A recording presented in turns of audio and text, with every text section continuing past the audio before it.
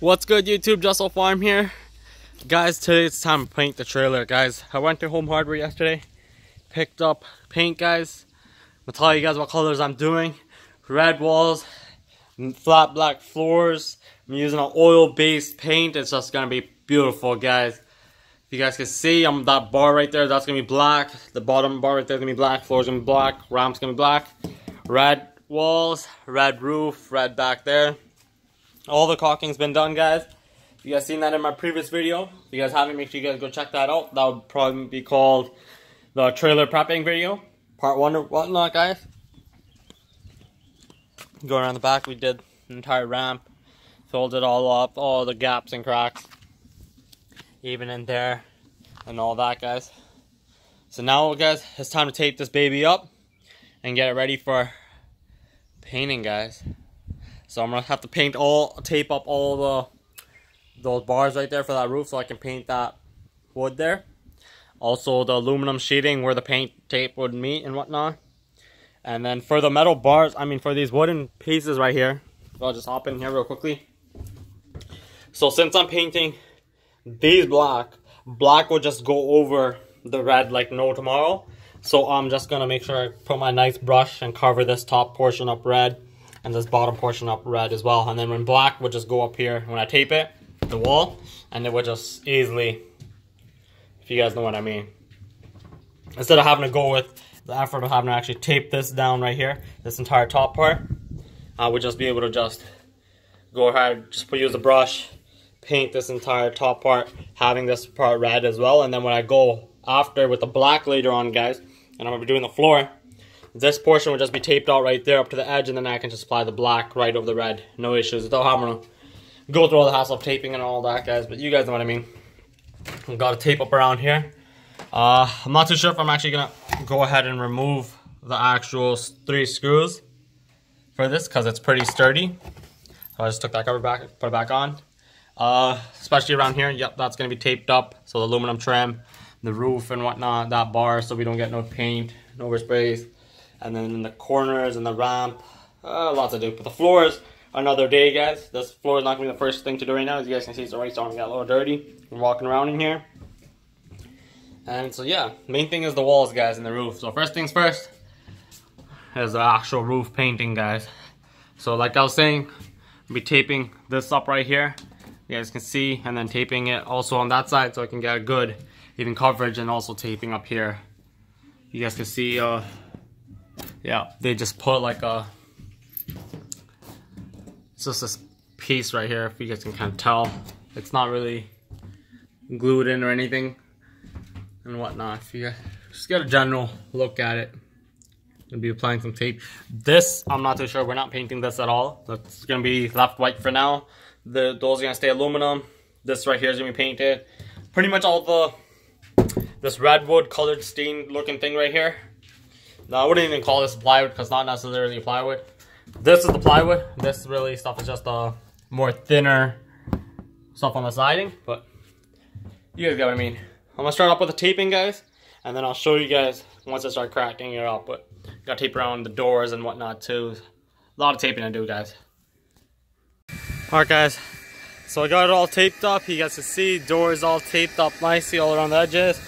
Also the inside framing or the door all around. That's the light, guys. We got in, we got the front pillars taped up, the steel, I mean stainless steel pillars or whatnot.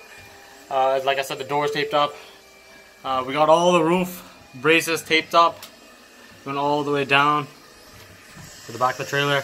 Yes, you see I even taped it up sideways. Yeah, the tape's just coming off because the roof is really hot right now. So it's just kind of peeling off, right? Let's keep on pushing it back on. It's doing a fairly well job sticking. You can see we've got all braces. I even did up these little corners over here on these sides just in case of paintbrush. Uh, we removed the light so we can actually paint all this behind there. As you guys can see, and I just use zip ties to hold up the light. There's no strain on the wire. It's not held by the wire, it's held by zip ties. Put the zip tie through the hook right there where screw goes and whatnot. Even taped it up back here. You guys can see kind of there for that over there. The back pillars down there. Same thing going down over there to the back piece over there. Still have to add a little bit of tape right here if you guys can see that. Uh, most of it's all done. That's pretty much it, other than that little piece right there. This is all taped up. The door framing, same thing for over here. I did the same zip tie thing like I was talking about. So yeah, guys, it's all taped up. I'm not bothering with taping up this actual thing right here to bother because then I just use the paintbrush. It's gonna go like this, cover up the top, and then this will just be black later on when I actually do the taping for all that, guys. So I'm gonna start off with actually painting the roof, guys. And yeah, so let me just quickly show you guys the paint that I bought to paint this, guys. So these right here are the paints that I picked up. I went to Home Hardware, and this is what was recommended to me for my project, guys. Uh, this Rust Coat interior exterior. Uh, let me just give you guys the English side. Right there, you guys can see. Interior, exterior, Alkyd paint, a urethane fortified, superior corrosion resistance, restores and protects metal, quality guaranteed. Picked up gloss fire red and flat black, guys, for the floor. Gloss fire red for the walls. So you guys can see that's how the red looks. There's nothing for the black right now because you guys already know how flat black looks. So yeah, guys, I picked this up so it's an oil-based paint, so it should really, it's gonna take some time to really dry, but it will provide really good coating and it will last a long time. It's actually what was recommended to me. The home hardware people said a lot of other people have used it before. I told them, I'm like, isn't this like more of like a metal-based paint? But they said it works best for plywood and wood like that too. A lot of people have used it. So, judging by the experience and what they told me, since they've been doing it for so long, and the uh, person at the, the lady at the counter, she recommended it, so definitely, I'm definitely gonna go with it, guys. I also, I did go back today just to question, just to see if this was the right one, because it does say for metal use and stuff like that, but guys, I believe what they're gonna say.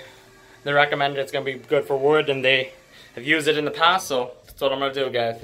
So gloss fire red walls, and the flat matte black for the trim in the floors. So this is gonna be black and then the floors, and then I'm just gonna have my own decals and stuff on the inside, and it's gonna look crazy, guys. I was actually gonna go for the John Deere green and uh, yellow, guys, and actually do like the entire John Deere theme, but I didn't want to make it look like Dr. Seuss, guys. It would have been really tacky. But one day though. And yep, gloss fire red for the roof as well too. I think it's gonna look perfect. Alright guys, so I'm gonna start doing with the paint and I'm gonna show you guys quickly how it looks after I do the roof. It's the very next day. If you guys can see, I did, well, it looks really red. I believe the color was fire red or something like that and it's gloss. It's the second coat I did today guys. All over the interior on the roof and whatnot guys, you guys can see. Don't really worry about all that stuff. I don't really care about the over stuff. I didn't bother taping it. Because like I said, I'm just going to be painting it matte black. And that black's just going to go over the red like, you know, tomorrow. You won't even tell. You guys can still tell it's still kind of wet looking. Uh, this is still drying and curing from last night. And then still all around the doors. You guys can see it turned out really nice, I'd say. In my opinion, guys really added a nice thing to it. Uh, last night I was painting till it got dark, so you guys can see there are some marks like that, like those right there, like these dripping marks and whatnot. You guys can see if I back up, there you go. You guys can see a lot more of it. That all happened from, I don't know why. Like it never happened before, like I don't know, just started ended up dripping and whatnot, I guess. Because the oil-based paint, but I'm not, I don't really, really care that much. Looks fine to me. It did get a second coat, and those those things were from the first initial coat. So if you guys can see that. So when I second coated, I put on a second thicker second coat to try covering up most of it and evening it out. But it's only at certain angles you can really see it. Well, that's really this wall, guys. Then the day, if you guys really look at it, like uh, flat ways, it's actually just it's all flat. Nothing's really sticking out with texture. It's just how the wall looks and the caulking as well. You guys can see that really filled in nicely. This is like the cleanest wall you guys can see. It's, I mean, the roof did a pretty, really good job, guys. It's a, in all, and overall, actually, really was a clean job overall. You guys can't even tell that that right side even looks that bad. Because on the inside, I'm gonna start putting my vinyls on, right? The black vinyls, little racing stripes or whatnot, some flames, and then some. We'll see how it goes, guys. But you won't even be able to tell. I'll tell you guys that much. Once it all dries and cures, you guys can see you got the vent cell, the lights and whatnot. I even did a nice coverage all the way over to the floor for up the ring around there. You guys can see. And then even over here. This part right here, I was originally going to paint um, red, but then I just was like, I might as well just make my own trim style thing right there. And that's to end up being black, guys. You guys can really see how it looks. It looks, looks really nice, guys. I'm definitely satisfied with it. It really has like a nice wet look to it. And then if I would just back up, and you can see from afar, the door and everything, it really added some real nice pop. I'm really happy about the door. You can really see it outside in the sun like this. This is how the color really looks. It's really vibrant, guys. It's fire red. It's just vibrant as hell. I'm really, I'm loving this paint, guys. Exactly what I wanted. And then the floor is gonna be matte black. You guys can see the caulking has really sealed up and everything for the floor as well too. So it's gonna be definitely a good, uh, long-lasting floor. That's for sure, guys. I didn't want to spend too much. I was gonna go with the Raptor flooring, but guys, that's like around five, four, three to four hundred dollars. Goes up in prices, uh, like almost around five hundred dollars. Then it's not worth it, guys. Like it is definitely worth it. The product is worth it, but for this six x twelve trailer, guys, I'm not even gonna bother doing it. When I get a bigger trailer, like an actual, like a 20 something bigger than 20 footer or something, maybe even a 30 footer or something, something actual long, like car hauler with like actual sink in there and whatnot like a real badass trailer, guys. That'll be an investment trailer. That's when I'll actually spend the $500 and actually go with the floor coating and do everything. Probably have like the square tile look. That was one thing I was really debating on this floor too, guys. Is going with the checkered flooring, the black and white checkered flooring. Coming to look at the red walls right now, it really look beautiful. But straight flat black floor would look nice too, guys. Because then the white spots are getting all dirty when there's oil and stuff like that leaks in here from the dirt bikes or the John Deere or any lawnmowers or whatever we end up using this trailer for, guys. But my main thing right now is I hope to do like some roadside thing if I could have this. I'm telling my parents to let me use the trailer for roadside and I can sell my vegetables instead of going to the farmer's market because the farmer's market want like five, six hundred, guys. And I don't even know if I'm gonna make five, six hundred dollars in sales for the first year. You guys can see this trailer starting to get a little bit of its heat dents over here. You guys can tell looks a little bit more dented.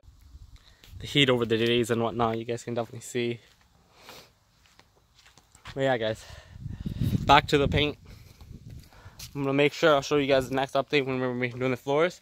So I'm just gonna let this sit for about two days, guys. Let this cure 48 hours, let everything just be nice and really just cure properly so it's not sticky anymore and it's just nicely done. Then I can do the taping along this paint and whatnot and I can do the nice matte black job on the trims and everything. So I'm just gonna let this stay open for the next two days, guys. And I'm gonna let this pretty much cure, guys. It's looking like a barn in here. Thanks for watching, guys. Don't forget to leave a thumbs up if you guys enjoying the video, guys.